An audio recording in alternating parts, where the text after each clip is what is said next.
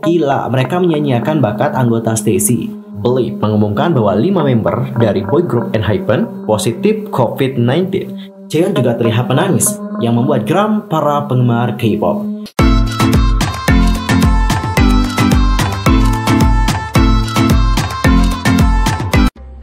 Hey what's up guys, I'm Mr. Kim, welcome back to my YouTube channel Nah gimana sih kabarnya hari ini? Baik-baik aja dong ya Dan buat kalian yang gak lagi baik-baik aja, pokoknya terus semangat guys, don't give up Oke cinggu, untuk hari ini udah tau dong ya kita mau ngapain? Yup, sekalian udah baca judulnya. Ya kali ini kita akan bahas tentang topik-topik terhangat seputar dunia perkepopan Yang pastinya sangat sayang banget untuk kalian lewatkan. Dan supaya kalian gak ketinggalan tentang update terbarunya Dan gak mau jadi orang yang kudet Langsung aja subscribe channel aku, bunyi loncengnya. Serta jangan lupa juga buat like, comment, and share ya. Tanpa basa-basi lagi langsung aja yuk guys kita bahas beritanya bersama-sama Nah guys, untuk pertama kita akan mulai dulu membahas tentang hal yang sempat heboh ya, yaitu tentang Sohyun SNSD yang dikecam dikarenakan melakukan hal ini pada foto Jihyo.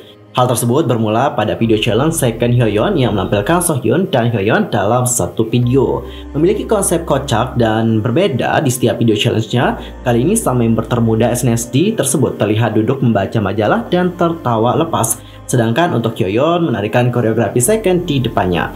Pada akhir video, Sohyun dengan cepat melempar majalah dan menggantinya dengan album Holiday dari SNSD. Masalah muncul ketika diketahui bahwa Sohyun tertawa saat membuka lebaran majalah yang menampilkan wajah Jihyo Twice serta melemparkan majalah tersebut saat menggantinya dengan album Holiday. Nah, penggemar Twice yaitu Once berang karena menganggap Sohyun telah berlaku tak sopan kepada Jihyo. Karena hal tersebutlah Once beramai-ramai membanjiri kolom komentar video yang telah dihapus tersebut dengan apologize to Jihyo. Son sebagai penggemar SNSD meluruskan hal tersebut dengan mengatakan bahwa Sohyun secara acak mengambil majalah untuk video itu, membolak-balikan halamannya dan tak sengaja membuka halaman yang menampilkan wajah dari Jihyo. Tak ada maksud apa pun nih dari hal tersebut, karena majalah merupakan properti saja.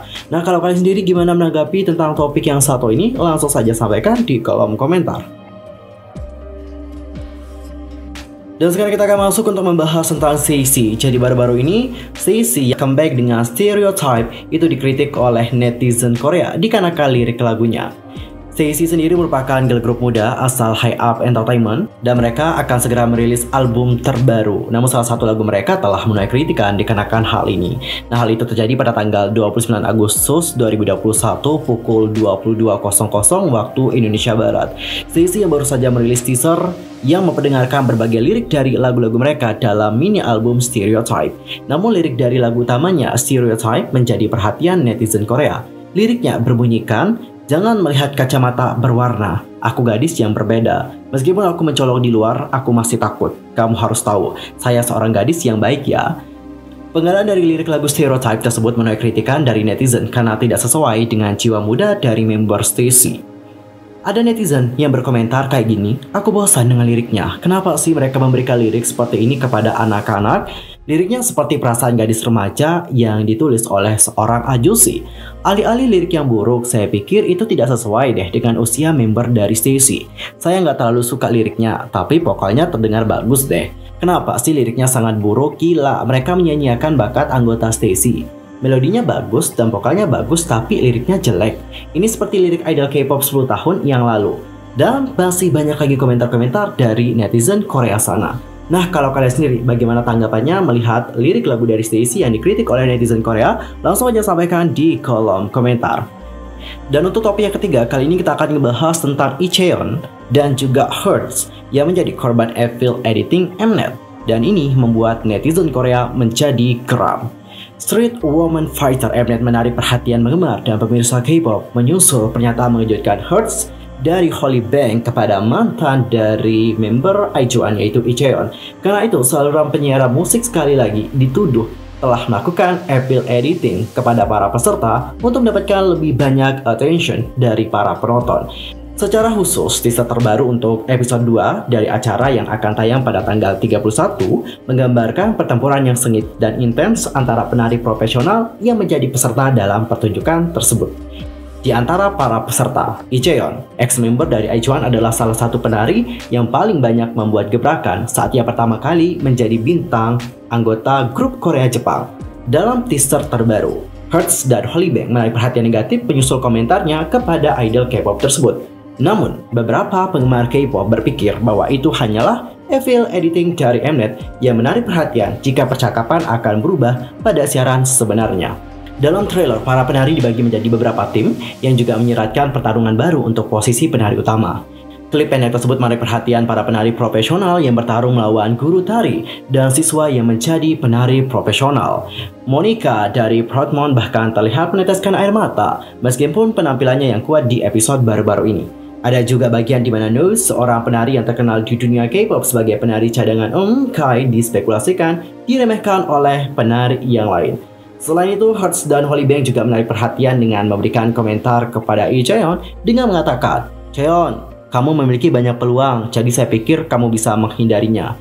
Ucapannya itu disusul dengan gelak tawa dari peserta lain. Cheon juga terlihat menangis, yang membuat geram para penggemar K-pop. Sebagai tanggapan awal, Hertz menerima banyak komentar kebencian di sosial media pribadinya karena komentarnya kepada Cheon. Namun beberapa pemirsa melihat perubahan dalam bingkai dan sudut video, meningkatkan kemungkinan bahwa pernyataan Hertz dibuat-buat. Diketahui, sebagian besar penari yang mengikuti pertunjukan tersebut sebenarnya adalah teman dekat. Bahkan ada yang menyampaikan pesan dukungan lo melalui kanal media sosial. Karena itu, pengguna internet dan penggemar K-pop meninggalkan komentar bersorak kepada para peserta. Di sisi lain, ini bukan pertama kalinya Mnet dituduh telah melakukan evil editing pada para peserta dalam acara mereka. Dulu ada klip kontroversial juga yang diedit dari serial Produce dan baru-baru ini Girls Planet 999 juga menarik perhatian yang banyak karena pernyataan dari trainee Fu Yaning kepada CLC Eugene. So, melihat hal ini, bagaimana pendapat kalian? Apakah kalian merasa bahwa Mnet sekali lagi melakukan yang namanya Apple Editing? Langsung saja sampaikan di kolom komentar.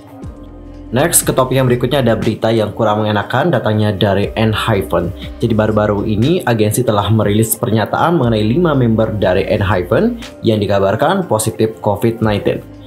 Kabar mengejutkan datang dari Blip yang mengumumkan bahwa idol-idol yang berada di bawah naungan mereka positif COVID-19. Pada tanggal 2 September 2021, Blip mengumumkan bahwa 5 member dari boy group Enhypen yaitu Jongwon, Hisong, Jay, Jake dan Song Hoon positif COVID-19 karena sempat beraktivitas di dekat seseorang yang positif COVID-19. Dalam pernyataannya, Belip mengatakan, Halo, ini adalah Belip Lab. Anggota Enhypen yaitu Jongwon, Hisung, Jae, Jake, dan Song Hoon telah didiagnosis positif terinfeksi COVID-19 saat menjalani karantina sendiri. Menyusul konfirmasi kasus COVID-19 di tempat produksi, Enhypen melakukan karantina mandiri sejak hari Kamis tanggal 26 Agustus dan diklasifikasikan oleh otoritas pemerintah pada hari Jumat tanggal 27 Agustus sebagaimana memerlukan karantina sendiri karena melakukan kontak dekat dengan individu yang terjangkit positif COVID. Selama karantina mandiri, Jake mulai menunjukkan gejala termasuk batuk dan demam pada hari Minggu tanggal 29 Agustus dan setelah melaporkan gejalanya ke puskesmas ia menjalani tes PCR. Dia ditemukan positif COVID-19 pada pagi hari Senin tanggal 30 Agustus. Selanjutnya, anggota Jongwon, Hisong, Jae, dan Songhoon mulai menunjukkan gejala yang sama pada hari Senin dan pengujian PCR dilakukan yang mengkonfirmasi didiagnosa positif mereka untuk COVID-19. Mengikuti instruksi dari otoritas kesehatan, tindakan yang diperlukan sedang dilakukan, termasuk penugasan dan relokasi ke fasilitas perawatan. Para anggota saat ini juga menunjukkan gejala yang ringan.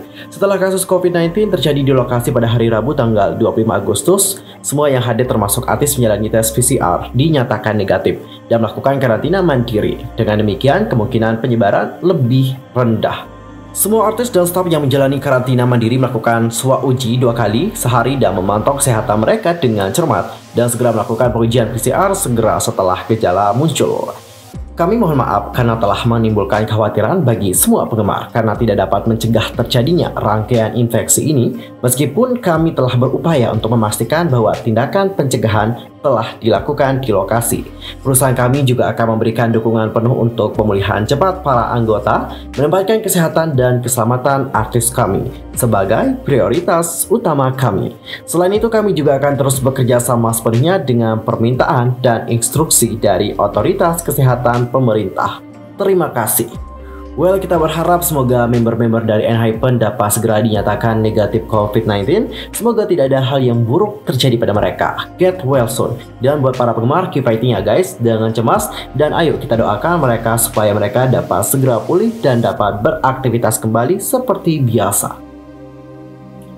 Dan untuk topik terakhir kali ini kita akan membahas tentang Winter yang dikecam karena diduga telah melakukan hal yang terbaik kepada hamster peliharaannya. Pada tanggal 31 Agustus, Winter ini telah membuka tentang pengalamannya dengan hamster peliharaannya di layanan Bubble. Udah tahu nggak Bubble ini apa? Jadi Bubble ini merupakan sebuah layanan alias aplikasi gitu yang memungkinkan idol K-pop dan penggemar dapat berkomunikasi satu sama lain.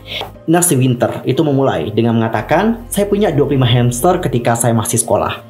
Saya pasti mulai dengan hanya dua saja, tetapi hubungan mereka sangat baik Ketika mereka baru lahir, mereka sangat lucu, hanya bayi. Kemudian saya memutuskan untuk hanya membesarkan salah satu dari mereka yang agak sakit. Jadi saya hanya membesarkan satu. Kisah Winter tentang hamster peliharaannya kini menimbulkan kontroversi online karena beberapa netizen menuduhnya telah melakukan hal yang tak baik kepada hewan peliharaan. Menurut netizen, setiap hamster harus dipisahkan di kandang yang berbeda. Tetapi Winter telah menempatkan dua hamster pertama di kandang yang sama yang menyebabkan mereka bereproduksi. Netizen kemudian bertanya, di mana dia meletakkan 24 hamster lainnya? Dia memikirkan binatang dengan sangat enteng. Dia tidak mencari informasi apa pun sebelum mendapatkannya. Kamu harus tahu nih dasar-dasar sebelum memelihara hamster. Dan masih banyak lagi komentar-komentar dari netizen yang lain. Dan ini bukan pertama kalinya anggota ESPA tersebut terlibat dalam kontroversi atas dugaan terhadap pelakuan yang tak baik kepada hewan peliharaan. Sebab pada tanggal 25, Winter juga memposting video dirinya yang mengelus kucing di bubble. Dan beberapa penggemar menuduh dia terlalu kasar untuk membelai kepala dan wajah kucing. Ketika kucing menghindarinya, dia menirukan tangisan kucing yang menyebabkan hewan peliharaan itu melarikan diri. Nah, untuk masalah winter ini gimana sih opini kalian guys? Langsung aja sampaikan di kolom komentar ya. Oke guys, seperti tadi menutup perjumpaan kita untuk hari ini. Aku mohon maaf kalau ada kesalahan baik dalam ucapan, sikap, tindakan, dan sebagainya. I'm so sorry banget. Dan mungkin ada kesalahan informasi langsung aja komen di kolom komentar. See you next time. Gak usah lidah. Annyeong.